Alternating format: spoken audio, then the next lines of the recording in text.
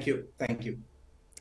Well, moving on, former head of Intel's accelerated computing systems and graphics business, Raja Koduri, who recently quit the company, has announced the launch of his new generative AI startup, Mihira AI. Now, through this new venture, he aims to democratize access to sophisticated hardware and AI tools for artists, especially in India. Shilpa Ranipeta caught up with Raja Koduri to understand more about his plans with this new venture. Mihira AI, we want to build a platform for storytellers, right. right? And particularly storytellers here in India. And it's a hardware, software, uh, and services platform. Uh, and Mihira AI will have over uh, 200 artists by the end of the year.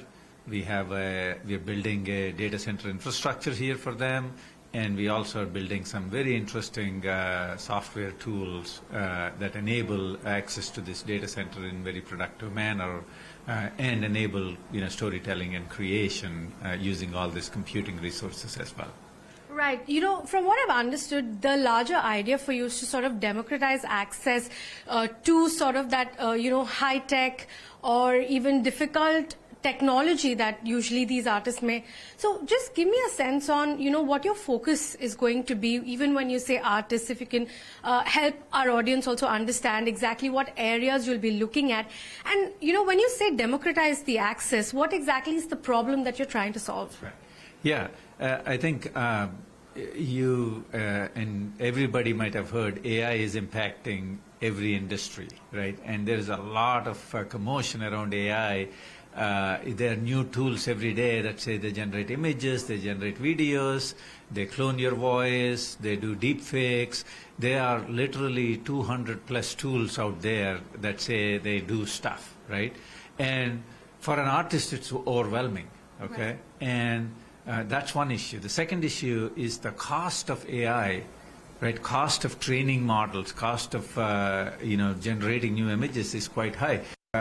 You know, but there is a larger problem in AI right now, right? Which is that there is silicon, there is systems and software. Right. The software and system, software plays a big role.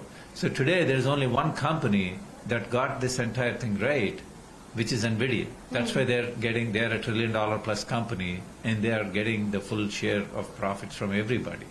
We need alternatives, right? Particularly in India, to that ecosystem. So without solving the software and systems problem, if you just do silicon, you aren't going to do that. I've done silicon for 27 years. I right. know that, right? So that's why I wanted to spend time on software and systems.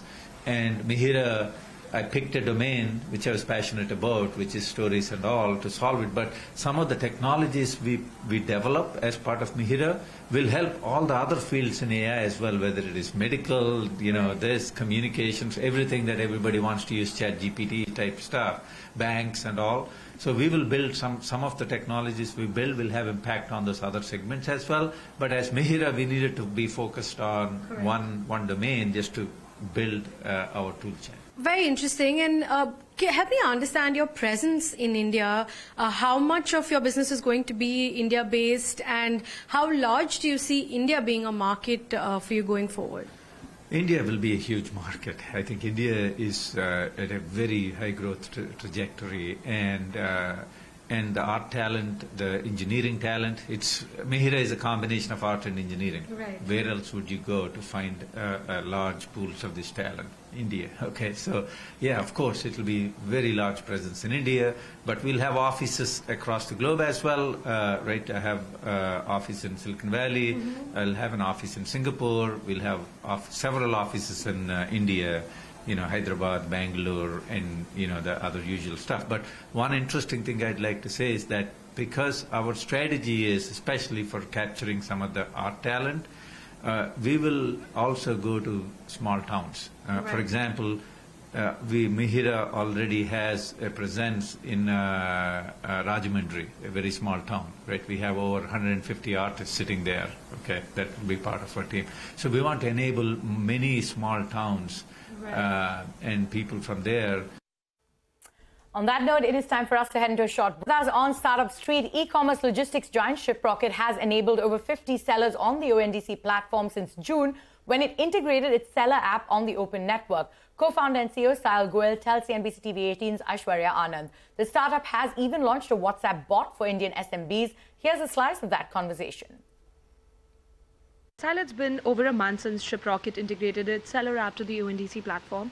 Uh, tell me how many merchants have you onboarded uh, to the open network till date, and what kind of revenues have these have these small players been able to clock till now? Um, so we built a beta integration about a couple of months ago, and uh, so far have controlled the experiment to send about 50 merchants. We have brands like Boult Audio, uh, Nirmalaya, and a few other brands that we've picked in the initial pilot, and um, you know we are launching them with fewer products and doing it slowly. So the volume or the value of goods right now is not very relevant. The idea was to test the whole integration, have them go live on platforms like Pincode and Paytm. Uh, but early traction is very, very promising. You know, we are seeing uh, a few hundred orders, uh, which is very promising given that it's a very light SKU footprint at the moment. But as we scale it to the rest of the platform, which we announced today, uh, that will open it for uh, pretty much any seller to come from Monday and be able to do it in a self-serve fashion, we'll start seeing a lot more traction and adoption in the coming months. Uh, Shiprocket also enabled five categories on ONDC that is, beauty and personal care, fashion, electronics and appliances, health and wellness, kitchen and home. So tell me how have these uh, you know categories been performing on your platform and what's the plan going forward? Yeah, so um, those are the largest categories for us on the platform with BPC or beauty and personal care in the first position, fashion and accessories in the second position, and the rest are broadly evenly split uh, in, in you know three, four, and five. We think it should mimic the same behavior again because it's super early right now. It's hard to say how that behaves on ONDC and so on. Um, but we think that you know it'll be very similar because given we process nearly 15 million transactions a month, it's a it's a fair assessment of you know where the market where the market's at. Now, in another development, you've also forayed into WhatsApp commerce. You've just launched uh, your own chatbot, and you've also partnered with Sale AI. Uh, so, t- firstly, take us through uh, what does uh, this new chatbot, uh, uh, you know, what does it do? Uh, how will it uh, play out? And also, what does your synergy with uh, uh, Sale AI? How is it going to impact uh, Shiprocket's business? Sure. So we have been powering communication messages for our merchants for over a year now under the brand Engage, which has been our product that's been live. Nearly 8,000 merchants already use it, and we send uh, you know millions of messages every month through that product. A lot of our merchants came back and asked for us to power their shopping experiences as well, as well as give them a way to start to target their own customers through that product. So we launched something today at Shivir called Engage Plus, which actually lets you manage the whole journey from putting your catalog from let's say a Shopify directly onto WhatsApp, make it shoppable, use ChatGPT like uh, AI to be able to interact with the bot. So it's built in a as a WhatsApp in a box or a business in a box for WhatsApp kind of a product which is launched today and focus especially on the small to medium businesses who don't have the need to customize, who don't have the need to write custom workflows, who don't want to change the text and really want it going out of the box in a few minutes. The partnership with Sale.ai is to do similar things on the shopping side but for larger brands. All right. Uh, now, uh, you know, Shiprocket X, which is your uh, cross-border shipping product, right?